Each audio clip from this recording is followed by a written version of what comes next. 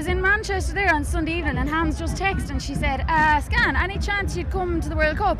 I said, When are you going? Monday, she said. I said, Well, I'm in Manchester at the minute. Flew back from Manchester Monday morning, got home at 1 pm, suitcase packed by 5, in Dublin Airport by 10 past.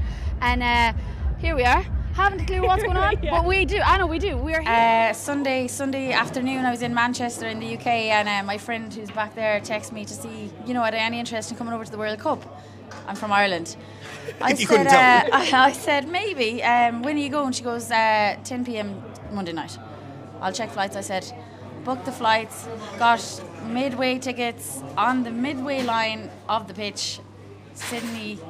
Here we are. Australia v Ireland. It's perfect. Dreams are made of. And then you went viral pre-game as well. How many views did that video get? Uh, yeah, it's it's a half a million, I think, pretty much. I'm telling you now, we won't lose. And I tell you, if we win, I'll be swimming in the harbour tonight. Promise. I've seen so much positivity over one video. There's not been one negative comment, and sure, like as the man says, what harm?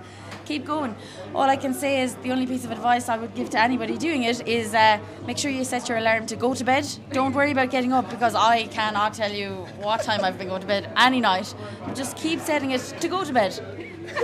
I love that. I I just want to say that you popped up on my TikTok feed this morning. Then you came up to us when we were setting up and you were asking us questions. And your friend was like, Do you recognize us? And I was like, Actually, when you turned up, I do recognize you. I've seen, you, I've seen you on TikTok.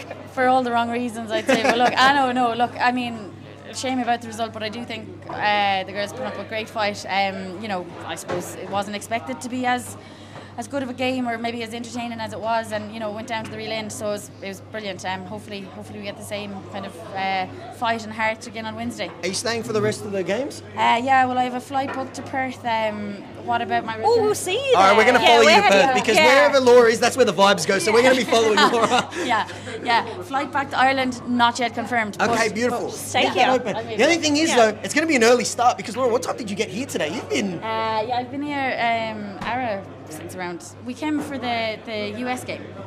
Uh, so we're in just shortly after 11 a.m.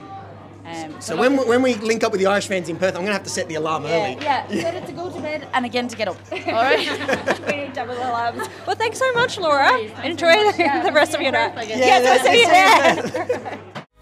Did you enjoy that? There's so much more, so why not hit subscribe and download the Optus Sport app?